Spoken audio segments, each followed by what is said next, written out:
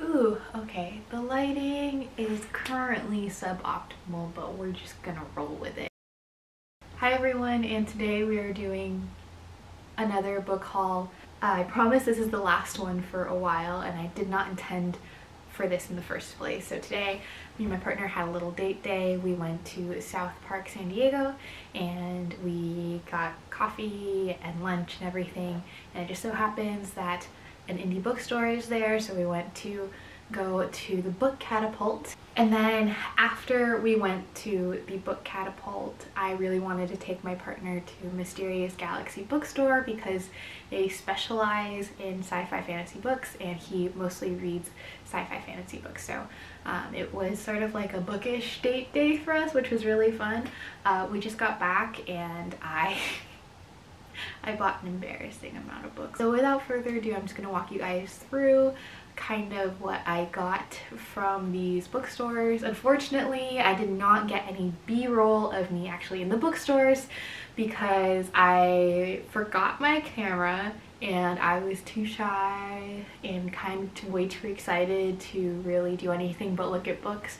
So I apologize, you're just gonna have to take my word that I went to the book catapult in South Park and Mysterious Galaxy bookstore. I got a sticker from the book catapult as proof that I went to the book catapult. Um, the first book that I got from the book catapult is Ghosts by Dolly Alderton. I have never seen this book before but it was in their I think recommendation section and this book is about a, an author that is about to publish her second book. She's single and kind of dealing with life. So she has to come to terms with a lot of the bad stuff in her life in the midst of this book. So I thought this was interesting. I like the cover and any book about authors or the publishing industry or writing in general apparently I've just been really enjoying lately so I think I will really enjoy this as well. And the next book I got was a paperback copy of Signal to Noise by Silvia Moreno Garcia. This is one of the older Silvia Moreno Garcia books that I still have not read and I was super excited to see this on the shelf because I really haven't seen this in any bookstores personally until today. I thought this was sci-fi but it might just be uh, historical fiction.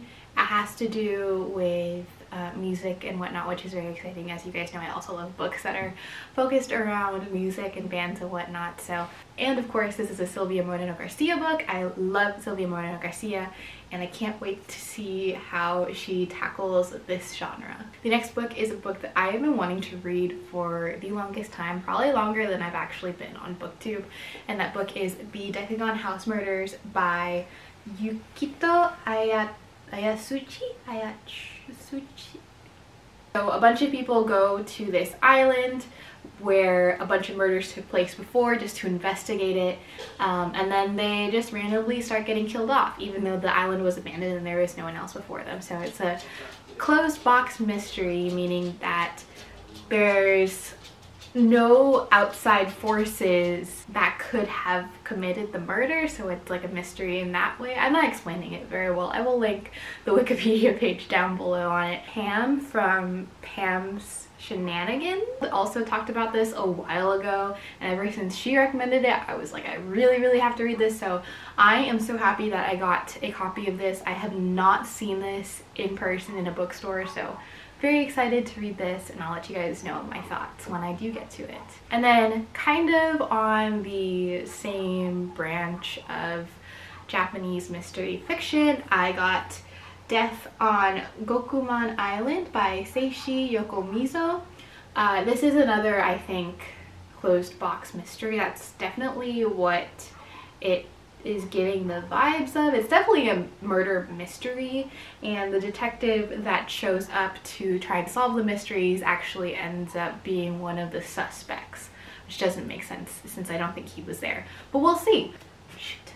I forgot to grab a bookmark from Mysterious Galaxy so I guess I'll just have to go back. But yeah, we then went to Mysterious Galaxy and like I said, they specialize in sci-fi fantasy books, but I found a lot of not sci-fi fantasy books. I'll talk about this more when I get to those books, but they also specialize in hosting author events for book publications. So they have a lot of signed books and uh, as you can imagine, I found a few books. The first book that I got at Mysterious Galaxy is Seven Days in June by Tia Williams. This is actually a romance. It's not a sci-fi fantasy. And I heard about this both from I think Mina Reads and then A Clockwork Reader saying that this was a really good romance. And the main character is an erotica author. I read a book where someone was like an audiobook narrator for erotica but not an author herself. So I think this is going to be a really interesting take. And I've just heard that the romance is actually quite beautiful, so I'm very, very excited for this. The next book I got at Mysterious Galaxy is We Sold Our Souls by Grady Hendrix. I have been wanting to read this book ever since I really got into my phase of reading books about bands and then I read The Final Girl Support Group by Grady Hendrix and I really enjoyed that. The bookseller at Mysterious Galaxy actually told us that Grady Hendrix does so much research when he writes his books and it really shows in the book itself so you could tell in the Final Girl support group how much research he had done about Final Girls and all of those murders and fanaticism about those murders and whatnot. And so I'm super excited to see how We Sold Our Souls takes on the whole rock and roll scene as well as apparently selling your soul to demons. Only a girl with a guitar can save us all. I am so excited for this. And of course, it wouldn't be a trip to Mysterious Galaxy if I didn't get at least one paperback sci-fi fantasy. So I picked up Piranesi by Susanna Clarke. Ellias from Ellias Reads loved this book so much that he named his cat after the titular main character. So I'm really interested. I heard that like you should go into it absolutely knowing nothing and just vibe with it and I'm really excited for that. It seems like it's going to be a fun adventure. I heard that people either love it or hate it and I really hope that I'm in the former group. Okay, so the next three books I got are signed copies and when I tell you I nearly screamed my head off when I saw that they were all signed. I am just so super excited to have these. I don't usually like owning hardbacks but if it's going to be signed by these authors, I'll do it for them. The first book that I got a signed hardback copy of is The Weight of Blood by Tiffany D. Jackson. This is so exciting because I don't have any signed books by Tiffany D. Jackson but she's one of my favorite authors of all time. The universe feels like it's finally being righted like we are going in the right direction because Mari finally has a signed copy of his Tiffany D. Jackson book. I talked about this in my fall TBR but The Weight of Blood is the latest Tiffany D. Jackson release and it's kind of a take on Carrie where there's a bullied girl and prom but I think that instead of Carrie being the victim Carrie is the perpetrator in this book, which is very exciting. And the next book that I got a signed hardcover copy of is Godslayers by Zoe Hana Mikuta. This is the second book and I think the last book in a duology. Uh, the first book being Gearbreakers, which I read last year and I was actually on the PR team for. This is a young adult sci-fi dystopian sort of where there's queer girls and mechas and I think that's really all you need to know. A lot of fun but I'm really glad that I saw that they had a signed copy and very cool thing it comes with a little bookmark in it which is very exciting. I think that Zoe must have left these or sent them with these books really happy and I feel very lucky to have picked up this copy. And the last book that I got in this haul that is also a signed hardcover copy is A Far Wilder Magic by Allison Saft. I have heard lots and lots of wonderful things about this book and I originally was going to wait for it in paperback but this is another signed copy so I, I, I was like eh, you know what this is this is worth the splurge this is worth reading it in a hardcover copy and I think that I honestly want to read this before the end of the year so I'm glad that I picked it up today.